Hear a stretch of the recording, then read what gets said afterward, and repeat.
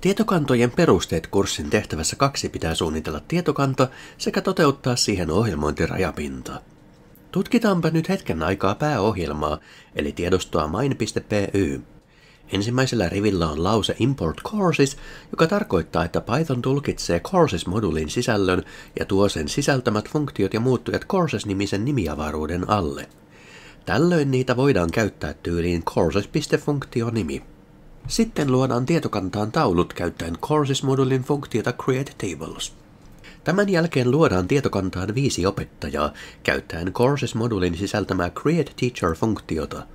Jotta kuhunkin näistä opettajista voidaan viitata jälkikäteen tavalla, joka yksilöi kunkin opettajan, otetaan talteen funktion palauttama arvo. Create Teacher-funktion tulee siis palauttaa sellainen arvo, joka yksilöi lisätyn tiedon. Tällaista yksilöivää tietoa kutsutaan pääavaimeksi ja se yleensä nimetään ID. Funktion tulee siis palauttaa lisätyn rivin ID-numero. Nämä viisi ID-numeroa pääohjelma tallentaa omiin muuttujinsa nimeltä T1, T2, T3, T4 ja T5. Nämä muuttujat eivät näy Courses-modulille, vaan ne ovat pääohjelman omia muuttujia. Seuraavaksi pääohjelma luo viisi kurssia käyttäen Courses-modulin funktiota Create Course – Kullekin näistä funktioista annetaan parametrinä kurssin nimi, kurssin opintopistemäärä sekä lista opettajista, jotka kurssia vetävät. Tähän listaan on nyt sijoitettu niiden muuttujien sisältöjä, jotka Create Teacher aiemmin palautti. Toisin sanoen, funktio saa parametrinään listan ID-numeroista, jotka nuo yksittäiset Create Teacher-kutsut palauttivat. Tällä tavalla Courses-moduli voi yhdistää oikean opettajan oikeaan kurssiin. Myös Create Course-funktion tulee palauttaa sellainen arvo, joka yksilöi lisätyn tiedon. Funktion tulee siis palauttaa sellainen ID-numero, joka mahdollistaa kurssiin viittaamisen myöhemmin. Vastaavalla tavalla luodaan viisi opiskelijaa. Kaikista näistä lisäyksistä pääohjelma tallentaa tiedon omaan paikalliseen muuttujaansa, jotta juuri siihen tiettyyn lisättyyn tietoon voidaan viitata myöhemmin uudelleen. Esimerkiksi muuttuja S2 mahdollistaa opiskelijan Liisa Marttinen viittaamisen myöhemmin, muuttuja T4 mahdollistaa opettajaan Emilia Oikarinen viittaamisen myöhemmin ja muuttuja C4 mahdollistaa kurssin tietokantojen perusteet viittaamisen myöhemmin. Seuraavaksi pääohjelma kutsuu Courses-modulin funktiota Add Credits. Tämän funktion tulee lisätä tietokantaan opintosuoritus. Opintosuorituksen tiedoiksi annetaan ID-numero, joka viittaa suorittajaan eli opiskelijaan, ID-numero, joka viittaa kurssiin, merkkijono, joka sisältää suorituksen päiväyksen sekä suoritetun arvosanan ykkösestä vitoseen. Näitä suorituksia pääohjelma lisää kahdeksan kappaletta. Sitten pääohjelma kutsuu Courses-modulin funktiota Create Group – Tämän funktion tulee lisätä tietokantaan ryhmä. Ryhmälle annetaan nimi ja lisäksi annetaan lista opettajista, jotka kuuluvat ryhmään, sekä lista opiskelijoista, jotka kuuluvat ryhmään. Kumpikin näistä listoista on lista ID-numeroista, jotka viittaavat näihin mainittuihin tietoihin. Esimerkiksi ensimmäisessä kutsussa lista opettajista on T2 sekä T3. Muuttujat T2 ja T3 sisältävät ne arvot, jotka nämä kaksi Create Teacher-kutsua palauttivat – Ryhmään lisätään siis opettajat Antti Laaksonen sekä Matti Luukkainen. Toinen listoista sisältää muuttujien S1, S2 ja S3 arvot. Muuttujat S1, S2 ja S3 sisältävät ne arvot, jotka palauttivat ensimmäinen, toinen sekä kolmas Create Student kutsut. Toisin sanoen ryhmään lisätään opiskelijat Heikki Lokki, Liisa Marttinen sekä Otto Nurmi. Create Group-funktion ei kuitenkaan tarvitse etsiä näitä nimiä, sillä opiskelijoihin ja opettajiin viittaamiseen riittävät nuo yksikäsitteiset pääavaimet eli ID-arvot. Create Group-funktiolle siis riittää tietää, että ryhmään lisätään opettajat numero X, jossa X on kukin ensimmäisen listan arvo, ja opiskelijat numero Y, jossa Y on kukin toisen listan arvo. Tämän jälkeen pääohjelma testaa Courses-modulin toiminnallisuutta noutamalla tietokannasta erilaisia arvoja sekä listoja. Näihin palataan kolmannessa videossa. Tässä videossa käsittelemme niitä funktioita, jotka lisäävät tietokantaan arvoja. Koska en voi antaa kurssin tehtävään suoraan valmiita vastauksia, käytän nyt opetusmenetelmänä kuvitteellista tehtävää, joka edellyttää täysin samoja taitoja kuin todellinenkin tehtävä. Kuvitteellinen tehtävä on esitelty ensimmäisessä ohjevideossa. Jos et ole katsonut sitä vielä, katso se ensin. Tässä vaiheessa oletetaan, että Create Tables-funktio on jo toteutettu.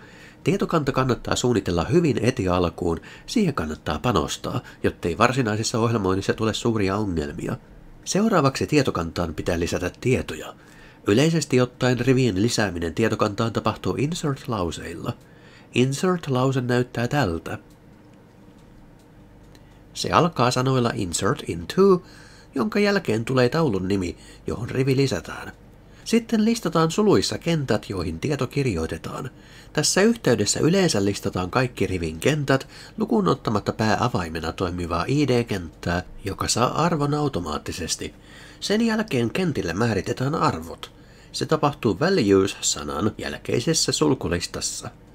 Koska kyse on tietokanta-ohjelmoinnista, arvot tulevat joistain muuttujista ja siksi niiden tilalle pannaan pelkät kysymysmerkit, aivan kuten tehtiin Tasks-tehtävässä yksi. Nyt luodaan tuote. Lause alkaa siis Insert into, jonka jälkeen tulee taulun nimi Products. Sitten listataan kentät. Name, Cost to Make. Nämä ovat siis tietokantakenttien nimiä, eivät Python-kielen muuttujien nimiä. Seuraavaksi määritellään arvot. Arvot ovat kaksi kysymysmerkkiä. Kysely suoritetaan db.execute-metodilla, jolle annetaan ensimmäiseksi parametriksi tämä kyselylauseke ja sen jälkeen lista muuttujista, jotka syötetään kysymysmerkkien paikalle. Koska insert-lause ei palauta rivejä, tähän ei lisätä funktiota fetch one tai fetch all. Mutta koska myöhemmin meidän pitää voida viitata lisättyyn tuotteeseen, me tarvitsemme tähän juuri lisätyn rivin ID-numeron. SQLiteissa se tapahtuu menetelmällä, joka löytyy kurssimateriaalin otsikon lisätyn rivin ID-numero alta. Lisätään siis executein perään piste last row id ja palautetaan kyseinen arvo. Samalla tavalla luodaan kategoria.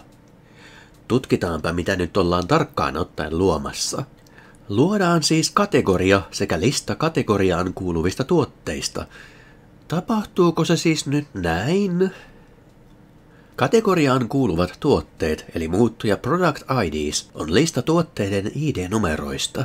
Siinä ei siis ole yksi tuotenumero, vaan siinä on mikä tahansa määrä tuotenumeroita nollasta ylöspäin. Yhden rivin yhteen kenttään ei tietokannassa voi änkeä kuin yhden tiedon. Siihen voi syöttää yhden luvun, mutta ei kokonaista listaa lukuja. Tämä koodi on siis väärin. Siinä ei auta, vaikka tuota Product IDs muuttuja yrittäisi muuttaa listasta merkkijonoksi. Koko lähestymistapa on lähtökohtaisesti väärin, eikä sitä auta se, että kentän nimi on kirjoitettu monikkoon. Kokeillaan siis jotain muuta. No entä sitten näin? Tässä koodissa on yksi perustavanlaatuinen ongelma – Funktion pitäisi luoda tietokantaan yksi kategoria, mutta tässä niitä kategorioita luodaankin jokaiselle tuotteelle omansa. Jos yhteen kategoriaan kuuluu viisi tuotetta, funktio luo viisi samannimistä kategoriaa. Jos kategoriaan ei kuulu yhtään tuotetta, funktio ei luo ainoatakaan kategoriaa. Ei sen näin pidä mennä. Funktio pitäisi luoda tarkalleen yksi annetun niminen kategoria. Jos tietokanta on suunniteltu väärin ja jokin näistä yrityksistä menisi läpi, ennemmin tai myöhemmin vääristä suunnittelukäytännöistä koituu vaikeuksia, joista seuraa tietokannan ylläpitäjälle stressiperäisiä sairauspoissaoloja. Mutta koska tietokantamme on suunniteltu oikeaoppisesti, mikään näistä yrityksistä ei edes olisi voinut mennä läpi. Tutkitaanpa nyt, miten asia oikeasti menee.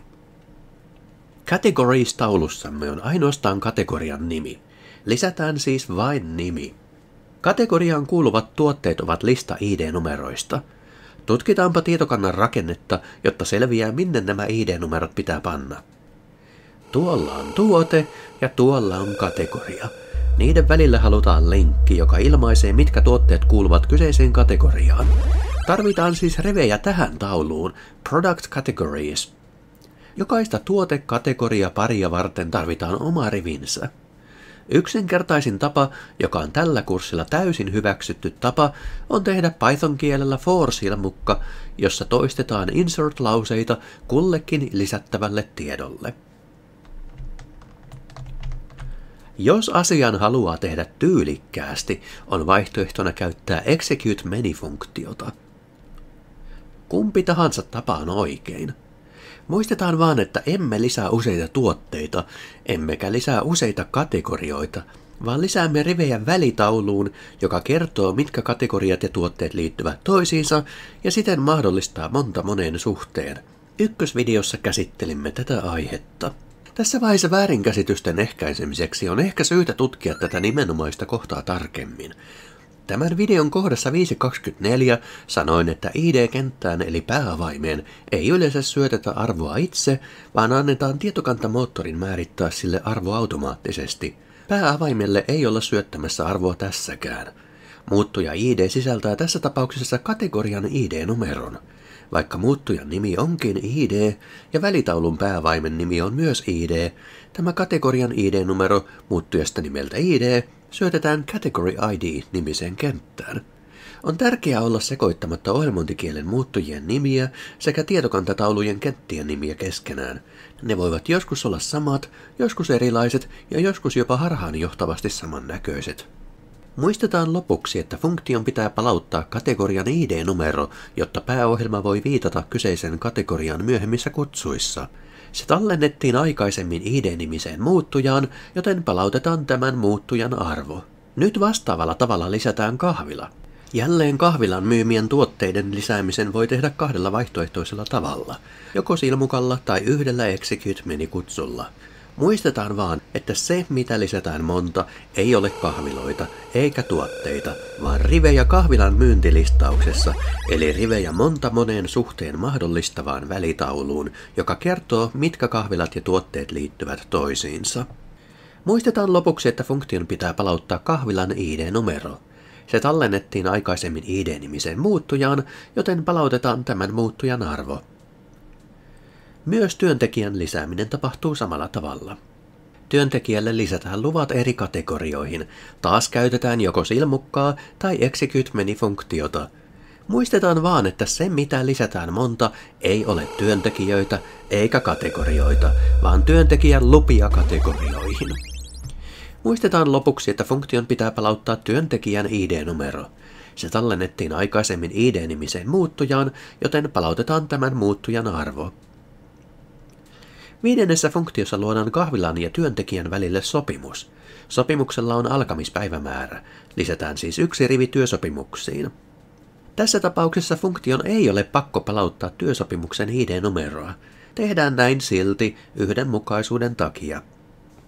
Toivottavasti näillä ohjeilla pääset eteenpäin. Videon loppuosassa on tekoälyn laatimia kuvia tietokantasuunnittelijoista erilaisissa tilanteissa.